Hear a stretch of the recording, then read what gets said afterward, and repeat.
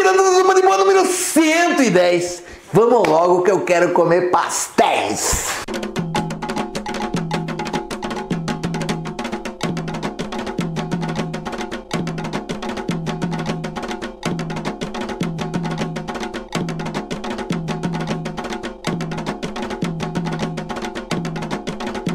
No encerramento das nossas gravações quinzenais, louco para comer, né, Sombrão? Nós estamos com fome, não estamos? O estômago tá roncando, Márcio. Roncando mesmo, velho. A janta já tá pronta e a gente vai terminar este PTD para jantar, então, sem pressa. Fala a sessão beijinho da noite de hoje, Sombrão. Vamos mandar um salve para a Juliana da Silva e todos os irmãos da Casa Ilê Alaqueto Jagum Lafá Assé de Joinville, Santa Catarina. Oi, Juliana. E todo mundo da sua casa aí. Aí, pessoal de Joinville, Santa Catarina, grande abraço do Maniboa. Axé do Maniboa. E que Oxalá abençoe a vocês. E olha, Márcio, tem gente nova no pedaço juntando forças. Opa! Temos que mandar um salve para Tatiana Jardim. Ela criou a página Umbandista Sincera no Facebook, que é mais uma na luta pela desmistificação da nossa Umbanda. Basta o pessoal entrar no Face e digitar lá em cima Umbandista Sincera e curtir a página, né, Márcio? Ô, irmão Tatiana, obrigado, gente. É presente ouvir isso daí. Isso aí soa como música para os meus ouvidos. Mais gente engrossando o coro das pessoas que querem mostrar a Umbanda de luz, de glória, de milagre, de elevação que nós vivemos, quebrando esses paradigmas, esses mitos e essas lendas urbanas que cercam a nossa religião.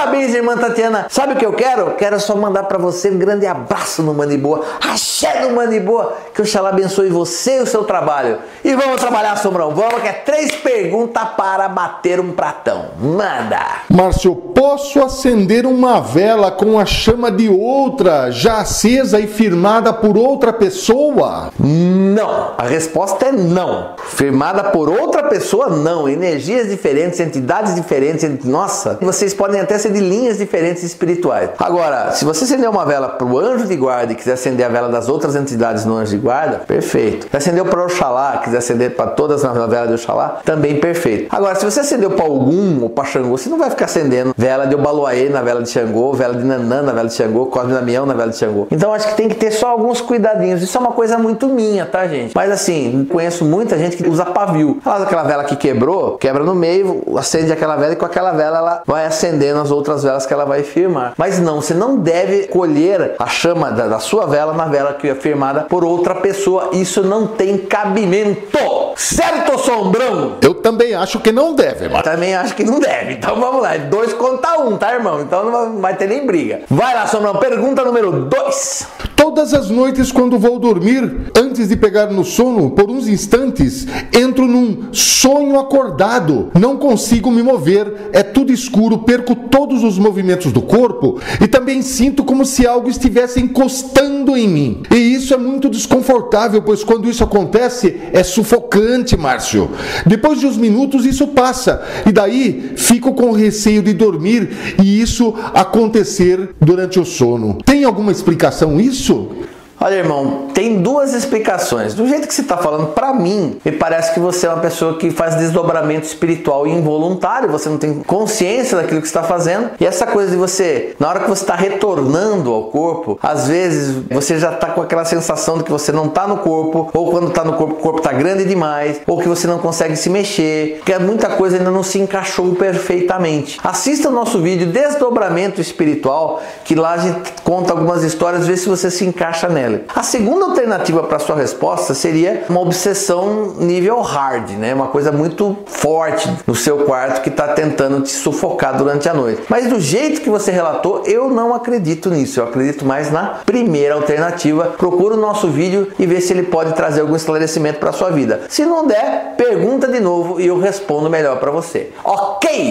Sombra, pergunta número 3. Posso trabalhar somente com a linha dos pretos velhos e receber os Exus somente para a limpeza? No meu terreiro, por eu não trabalhar com a esquerda, me olham meio atravessado, pois a casa é estritamente esquerda.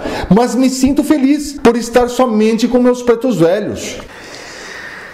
Olha, irmão, Eu até dei essa pausa dramática mesmo, mas eu queria falar para você por que você não trabalha com a esquerda. É uma coisa sua isso, tá? É uma coisa que tá dentro de você. Eu não sei por quê, mas eu tenho os meus Exus e a minha pombagira com os meus melhores amigos do plano espiritual, que estão comigo para o que der e para o que vier. Eu não tenho vergonha, eu não tenho medo e confio plenamente na luz e no discernimento de meus Exus e da minha pombagira. Eu acho estranho esse negócio de você não querer trabalhar com Exu. O porquê disso? É isso que ficou muito estranho. Eu acho que Exu só limpar, o Exu tá fazendo um trabalho importante, que é, tem coisa que só Exu vai conseguir limpar em você. Eu sei que o caboclo preto velho faz tudo que o Exu faz, mas eu quero deixar claro que Exu também faz tudo que caboclo preto velho também faz. Eu sou contra haver desequilíbrios, nem para Exu e nem para a linha da direita. Eu acho que tem que ter o equilíbrio entre a direita e a esquerda, e esse é o desejado. Então, se a direita trabalha, a esquerda trabalha. Se a direita só dá passagem e descarrega, a esquerda só dá passagem e descarrega. É uma coisa que eu acho que você deveria ver consigo mesmo e reavaliar esses pontos. E qualquer coisa, coloca uma outra pergunta para mim, irmão. Mas eu acho que Exu tem que trabalhar sim para o bem do médium, para o bem da Umbanda e o bem da assistência, inclusive o bem do seu próprio terreiro que você frequenta. Essa é a minha singela opinião, tá? Eu não sou o dono da verdade, tá bom?